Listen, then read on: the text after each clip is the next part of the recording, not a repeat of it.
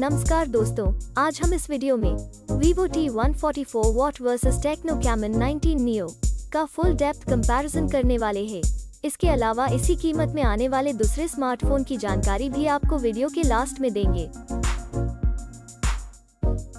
सबसे पहले बात करते हैं दोनों फ़ोन के डायमेंशन की दोनों फ़ोन की लेंथ की बात करें तो T144 वॉट में 6.33 इंच जबकि कैमन 19 न्यू में 6.65 इंच की लेंथ मिलती है।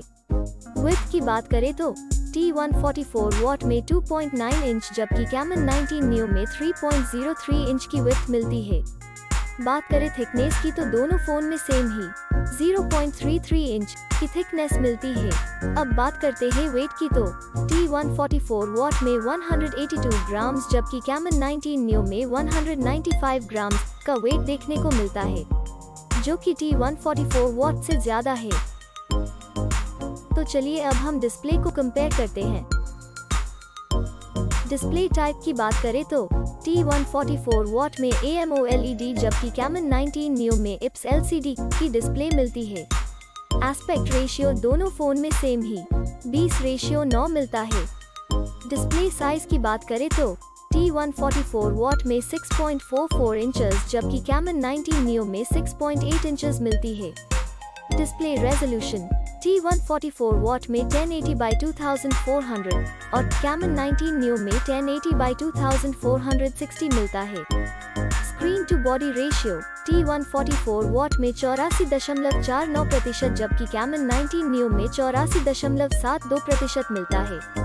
बात करें पीपीआई डेंसिटी की तो T144 वॉट में 409 पिक्सल प्रति इंच जबकि कैमन 19 न्यू में तीन पिक्सल प्रति इंच मिलती है। अब देखते हैं डिस्प्ले के अन्य फीचर्स यानी विशेषताएँ की जो कि मोबाइल फ़ोन का महत्वपूर्ण हिस्सा है। अब बात करते हैं सबके पसंदीदा फीचर्स कैमरा की। दोस्तों, सबसे पहले बात करें मैन कैमरा की तो T144 वॉट में तीन कैमरा देखने को मिलता है, जिसमें कि प्राइमरी कैमरा मैक्रो कैमरा और आखिर में डेप्थ कैमरा देखने को मिलता है। और कैमन 19 न्यू की बात करें तो इसमें भी हमें तीन कैमरा देखने को मिलता है, जिसमें कि प्राइमरी कैमरा डेप्थ कैमरा और आखिर में क्यूवीजीए देखने को मिलता है। बात करें वीडियो कैमरा की तो दोनों फ़ोन में सात डिफरेंट टाइप के फीचर्स मिल जाते हैं।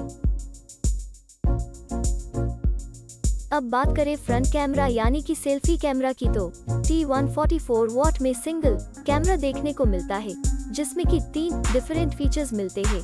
और कैमन 19 न्यू में भी सिंगल कैमरा देखने को मिलता है जिसमें चार डिफरेंट फीचर्स मिलते हैं। आइए अब बात करते हैं हार्डवेयर के बारे में जिसमें हम सीपीयू, जीपीयू, रैम की इंफॉर्मेशन देखते हैं। हार्डवेयर में सबसे पहले सीपीयू जो कि स्पीड के हिसाब से देखा जाए तो फ़ोन में सबसे इम्पोर्टेंट पार्ट है उसकी डिटेल्स देखते हैं। जीपीयू की बात करें तो T144 वॉट में Adreno 610 जबकि कैमन 19 Neo में Mali G52 MC2 मिलता है। चिपसेट की बात करें तो T144 वॉट में Qualcomm, Snapdragon 680 और Camon 19 Neo में मीडिया MediaTek Helio G85 मिलता है। बात करें रैम की तो T144 वॉट में तीन वेरिएंट देखने को मिलता है, जिसमें 4 गीगाबाइट 6 गीगाबाइट 8 गीगाबाइट की रैम मिलती है, जबकि कैमन 19 न्यू में एक ही वेरिएंट देखने को मिलता है, जिसमें 6 गीगाबाइट रैम मिल जाती है। बात करें इंटरनल मेमोरी जिसको हम स्टोरेज भी कहते हैं वो T144 वॉट में तीन वेरिएंट देखने को मिलता है, जिसमें 128 गीगाबाइट 128 गीगाबाइट 128 गीगाबाइट की स्टोरेज मिलती है, जबकि कैमन 19 न्यू में एक ही वेरिएंट देखने को मिलता है, जिसमें 128 गीगाबाइट स्टोरेज मिल जाती है। एक्सपैंडेबल मेमोरी की बात करें तो T144 वॉट में अप टू 1 टेराबाइट जबकि कैमन 19 न्यू में अप टू 512 गीगाबाइट है। ऑपरेटिंग सिस्टम दोनों फ़ोन में, Android V12 देखने को मिलती है। बैटरी की बात करें तो दोनों फ़ोन में 5000 mAh देखने को मिलती है। आइए अब मेन फीचर को देखते हैं।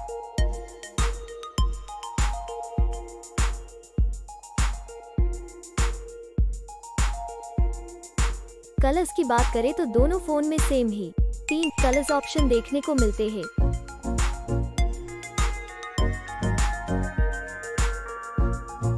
सब इन्फॉर्मेशन देखने के बाद बात करें प्राइस की तो T144 वॉट में तीन वेरिएंट देखने को मिलते हैं, जिसमें कि 4 गीगाबाइट रैम 128 गीगाबाइट स्टोरेज के साथ चौदह हज़ार चार सौ निन्यानवे रुपीज़ छह गीगाबाइट रैम 128 गीगाबाइट स्टोरेज के साथ पंद्रह हज़ार नौ सौ निन्यानवे रूपीज आठ गीगाबाइट रैम 128 गीगाबाइट स्टोरेज के साथ सत्रह हज़ार नौ सौ निन्यानवे रूपीज में मिलता है और बात करें कैमन 19 नियो की तो उसमें एक ही वेरिएंट मिलता है जो कि छह गीगाबाइट रैम 128 गीगाबाइट स्टोरेज के साथ बारह हज़ार नौ सौ निन्यानवे रूपीज में मिलता है।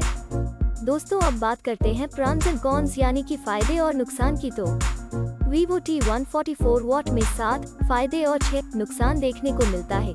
जबकि बात करें टेक्नो कैमन 19 न्यू की तो उसमें छह फ़ायदे और एक नुकसान देखने को मिलता है।